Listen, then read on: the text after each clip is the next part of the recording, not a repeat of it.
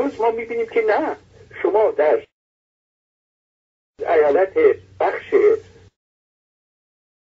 جنوب ویرجینیا نزدیک واشنگتن شما می‌بینید که در اونجا از از در واقع پایگاه CIA و پایگاه پنتاگون وزارت دفاع آمریکا این هواپیماهای بیخلبان که در ایران بهش میگن پهباد اینا میرن مثلا یک دهکده بزرگی رو در کشور پاکستان با خاک یکسان می‌کنن و ما می‌بینیم که اون شب که اینا رفتن اون بمب ها را ریختن و مردم از اونجا مثلا یه عروسی بوده. یه بله. دهکده یا مجلس مراسم یه نفری بودی که روز قبل مرده بوده. اینها باعث شدی که اون مردم هم حالا به پا خواستن. یعنی دیگه قبول ندارن. این برنامه های صاحبان ثروت و قدرت. اینی که به طور کلی امروز به جهان که نگاه می‌کنیم می‌بینیم که واقعا در دنیا در تلاطمه. بله. نظام جهانی هم کاملا خودش رو رسوا کرده. قبلا برنامه هایی میذاشت یک عرب نشینه هایی می‌کرد یک امتیازاتی می‌زد به این مردم. بله. که امروز که اون قدرت ها هم این صاحبان ثروت و قدرت اون شهامت و قدرت و اون ظرفیت هم ندارن دیگه. که بیان امتیاز بدن یه خود عقب نشینی بکنن. نه مثل اینکه جهان ما در جهتی میده که ما تقریبا به سر دورایی رسیدیم دوباره. یعنی در تاریخ بشر بشر همیشه اتفاق افتاده که بر سر این دوراهی ها برسه. امروز هم ما بر سر این دوراهی رسیدیم که آیا کدوم یک از این راه ها ما را به در ای ما را رهنمایی می‌کنه که ما قدم ها را بذاریم و در اون مسیر بریم جلو که به یک دنیای نسبتا بهتری بله. نسبتا دموکراتیکی با امتری برسیم یا اینکه نه بیشتر بیشتر میریم طرف توحش و انهدام و تخریب نه تنها جوامع انسانی بلکه خود طبیعت. بله. تخریب محیط. و این به طور کلی اوضاعی است که ما می‌بینیم. حالا بعضی هم میگن خب اگر نظام اینجوری بره جلو این نظام سقوط می‌کنه این نظام از بین میره. ولی خب باید به اینم نگاه کرد که این نظام خود به خود از بین نمیره. این در مورد کشورها هم ست میشه. جمهوری اسلامی خود به خود از بین نمیره. حتی مریض هم باشه در بستر مرگ هم باشه می‌تونه ادامه بده. بله می‌تونه طولانی تر بله. بله. بله. اون بدیل اون آلترنتیو اون بدیلی که باید زایش زانشین اون باشه. و جایگزینی به عمل بیاد اون بدیل در ذهنها در بین سازمان های کوچک و بزرگ در بین جنبش های مردمی در کوچه و خیابون وجود داره.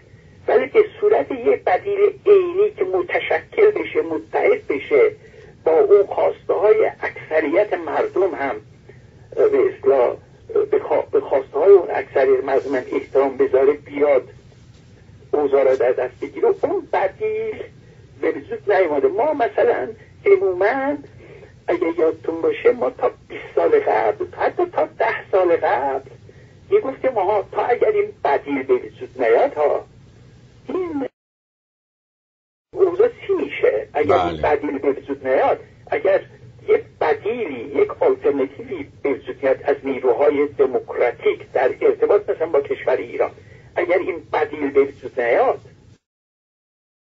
خب اون وقت بله سیستم قدرت اصلا انجام نمیشه. اگه تغییری هم باشه اون قدرت رو بگیره. اگه تغییری هم بگیره انجام بشه در درون خود اونه یعنی به سمت اون خواست ملی نیست خواست مردمی نخواهد بود. یعنی باز در درون رژیم یه تغییراتی انجام می‌گیره. حالا یا اصلاح طلب میاد به اصطلاح.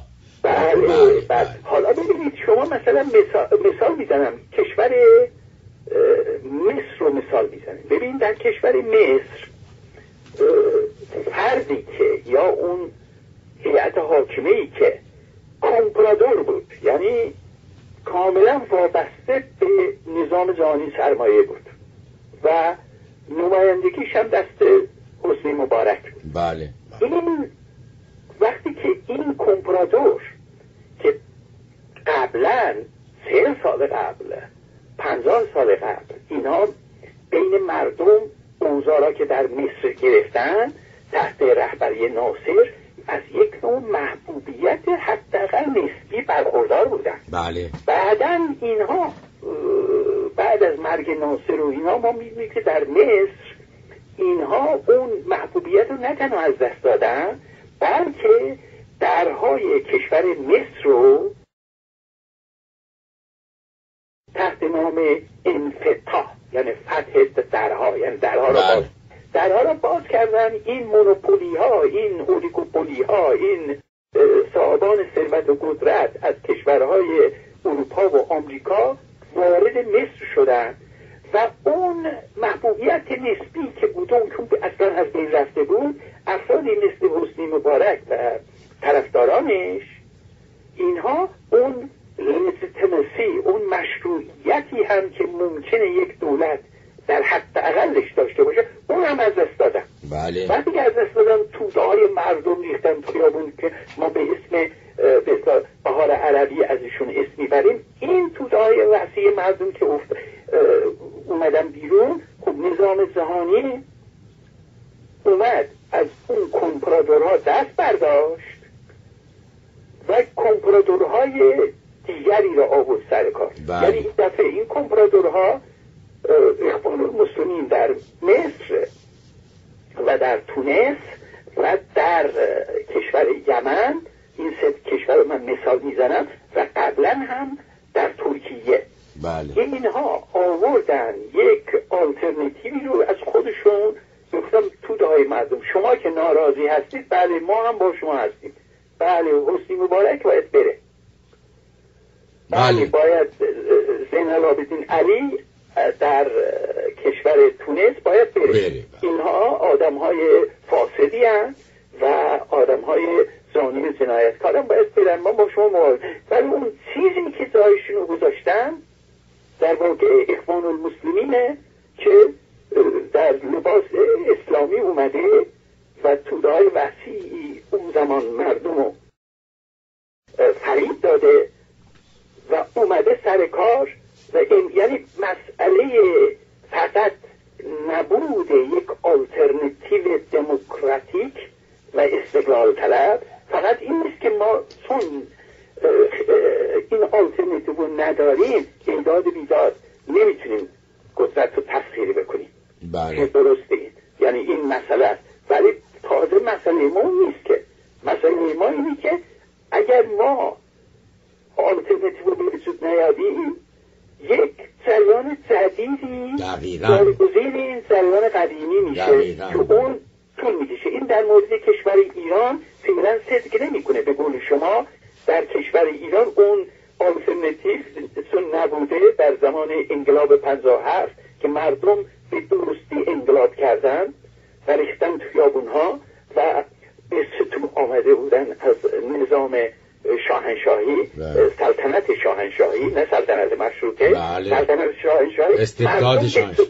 آمدن اومدن ریختن تو خیابون ها بله. و انقلاب کردن. البته در یک پروسه دو ساله دو سال و نیم این انقلاب از دست مردم از دست اون افرادی که قرار بود این مردم و نماینده رو بوده شد. بله دقیقا دزدیده شد, شد و اصلاح این فاندامنتالیستا این بنیادگرایان حالا اسمشو بذاریم اسلامیستا هر چه اسمشو بذاریم اینا اومدن سر بله. امروز ما در کشورهای مثل مصر و تونس و از شبت در یمن دیدیم کاملا می‌بینیم که اونهایی که سر کار اومدن با اون قبلی ها کیفیتا تفاوت ندارن. به اسلام میگن ما اسلامی هستیم قبلی ها نبودن. بله مثل خود مبارک به اصطلاح سکولار بود. ما سکولار هم نیستیم ما مذهبی هستیم به اسلام هم احترام بله. ولی اساسا کیفیتا تفاوت ندارن. هر دو وابسته به نظام جهانی سرمایه هستن و در خدمت مردم هم نیستن. بله دقیقا. سرکوبگرند و مستبد. بله. بله مثلا یعنی تاج میره امامه میاد. بله. بله. آقای حسنی مبارک اگر بیکاری بین زبانان به وجود آورد و این زبانان به خشم اومدن ریختن تو میدان تحریر و انقلاب کردن. بله بلافاصله دولت آمریکا اومد. حمایت کرد از اون بخشی از اون سازمان اخوان المسلمین که به حیات خودش ادامه داده بود. بله. ببینید ما در مورد ایران هم شما اگر توجه کنید بعد از کودتای 28 مرداد بلافاصله نبود که تمام سازمان های دموکراتیک ملی و سوسیالیست و چپ و ملیگرا از بین رفتن. نه بیشتر از 15 سال طول کشید. یعنی از کودتای 28 مرداد در سال 1953 طول کشید تا رفت سال 1965 و 66 67 تا اون زمان هنوز بخشهایی از نیروهای دموکراتیک ملیگرا در جامعه ایران وجود داشتند بله. ولی اینا را کاملا سرکوب فیزیکی کردن بله. فقط در ایران نبوده در کشورهای اندونزی بوده در خود مصر بوده اینا را نابود کردن بله. تنها نیرویی که آزاد بود که بگرده همین بنیادگرایان بودن که امروز معروف شدن به سلفیستا چه در بله. ایران چه در مصر چه در ترکیه وقتی که نگاه می‌کنیم می‌بینید که اینا کیفیتا با اون کمپرادورهایی که جانشینشون شدن تفاوت ندارن بله. اینکه اوضاع به طور کلی در سراسر جهان پر از تلاطمه و این تلاطمات یک نوع عکس عملی است از سوی مردم جهان بله. چه در کشورهای بسیار بسیار توسعه یافته چه در کشورهایی که توسعه یافته نیستند مردم به ستون آمدن و به شکلهای مختلف مخالفتشون رو با نظام نشون میدن. بله. ولی به نظر من کافی نیست که این خود به خود اون باعث بشه که این نظام بیفته. بلکه هم در سطح جهانی و هم در سطح ملی باید ما اون آلترنتیو رو بیاد مردم جهان بشریت باید اون آلترنتیو علمی رو به وجود بیاره که و اون جایگزینی به نفع مردم نه به نفع دوباره صاحبان ثروت و قدرت تمام بشه بله. در واقع یا پاسه بدم. میشه گفت یکی از دلایل عکس مردم این شناخت بیشتر از ماهیت این نظام های سلطگره یعنی کم کم دیگه آشنا شدن مردم. دارن شناختشون بیشتر میشه. قدیم می‌تونستن بیشتر بفریبن. الان نمی‌تونن. کمتر می‌تونن موفق بشن. بعد بله بعدم یک نکته دیگه هم که جان پارسا این برنده نوبل اقتصاد گفته که یک درصد جمعیت آمریکا یک چهارم ثروت این کشور را در اختیار دارد. اون بحث 99 درصدی و یک درصدی است. بعدم که ثروت این یک درصدی ها از سال 1980 تا به حال دو برابر شده در صورتی که طبقه متوسطش تغییری نکرده.